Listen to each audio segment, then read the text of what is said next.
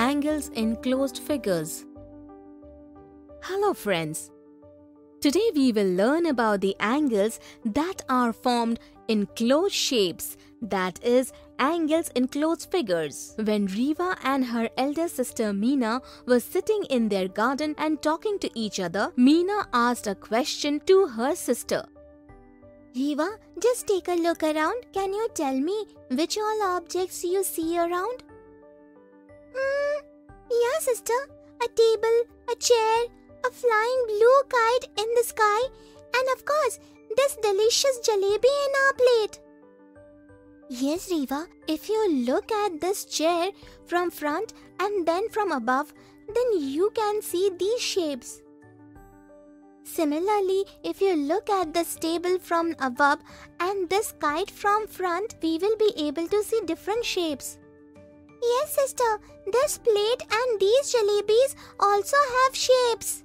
Yes, Riva, you have identified it correctly. Now, can you tell me which of these things have corners in their shape? Corners? What are corners, sister? Do you know what are corners? Look here, Riva.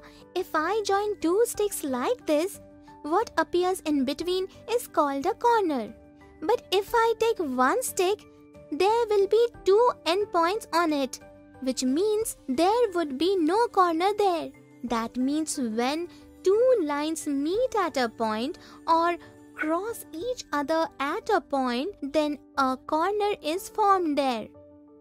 So, sister, does this mean that corners are only formed in objects like kite, table, and a chair? And the shapes of jalebi and plate do not have corners? Yes, Riva. Do you know that when two lines join along with each other, then only one corner is not formed, but something else is also formed, which is called an angle. Where there is a corner, there is an angle, and this angle is something which is very useful. Really? How is that, sister? The angle tells us the extent of rotation between two lines. The more the rotation, the more the angle. Now look here, if I join another stick to these two sticks, then a triangle is formed. Can you tell me now how many corners and how many angles are present? Sister, from what I understood, three corners are formed here. And since there are three corners, only three angles are formed. Absolutely right, Riva. Come on, we will form a figure with four sticks of equal length. So here are your four sticks and here are my four sticks. Then Meena and Riva formed figures with their sticks and showed it to each other. Did you see Riva? There are four corners in our figures and these four angles are formed in four different corners. Still both have different shapes. Oh yes! But why is it so sister? Because the angles in both figures are different.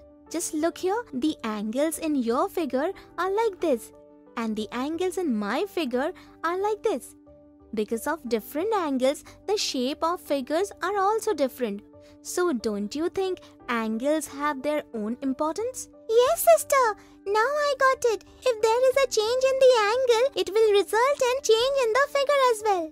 Perfect, Riva. Come on, let us identify the angles in the figures we have seen around. Just like Riva and Meena, can you also identify the angles inside the shapes of different objects?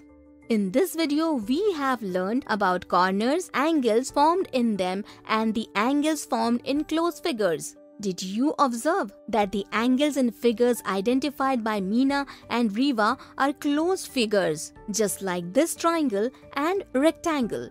Do you know what are closed figures? Are angles formed only in closed figures and not in open figures? What do you think about this?